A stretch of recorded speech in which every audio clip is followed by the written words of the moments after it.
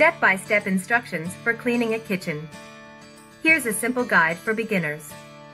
Gather supplies. You'll need a sponge, dishcloth, or microfiber cloth, dish soap, all-purpose cleaner, glass cleaner, paper towels or a clean cloth, a broom and dustpan or vacuum, and a mop or wet Swiffer.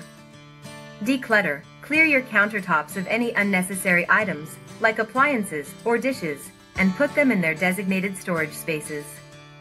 Wash dishes. Fill your sink with warm water and a few drops of dish soap.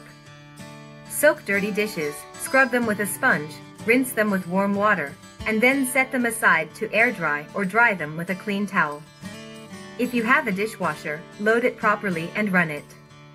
Clean the countertops. Spray your countertops with an all-purpose cleaner, let it sit for a minute, and then wipe them down with a sponge or cloth. Make sure to clean any spills or crumbs. If you have a cutting board or other items on the counter, clean them separately and dry them before putting them back. Wipe down appliances. Use a damp cloth with a little dish soap or all-purpose cleaner to wipe down your refrigerator, oven, microwave, and other appliances. Don't forget to clean handles, knobs, and buttons. Clean the sink. After washing the dishes, scrub the sink with a sponge or cloth and dish soap or all-purpose cleaner. Rinse with warm water and dry with a clean towel.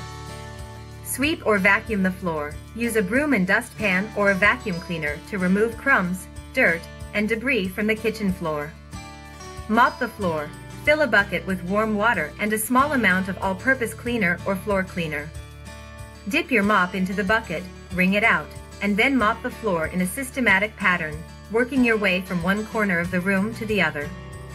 Allow the floor to air dry.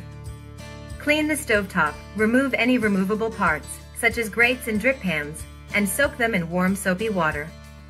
Scrub them clean and dry them before reassembling.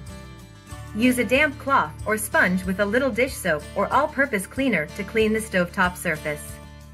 Dry with a clean towel. Wipe down cabinets and drawers. Use a damp cloth or sponge with a little dish soap or all-purpose cleaner to clean the exterior of your cabinets and drawers. Dry with a clean towel. Clean the windows and mirrors. Spray glass cleaner onto a paper towel or clean cloth and wipe down any windows and mirrors in your kitchen. Empty the trash. Remove the trash bag from the trash can, tie it up, and dispose of it outside. Replace the trash bag and clean the trash can with a damp cloth and all-purpose cleaner, if needed. Final touches. Put away any remaining items on the countertops and return any appliances, dishes, or utensils to their proper storage spaces. Make sure everything is in its place and admire your clean kitchen. Remember to maintain your kitchen's cleanliness by wiping down surfaces and doing dishes regularly. This will make deep cleaning easier in the future.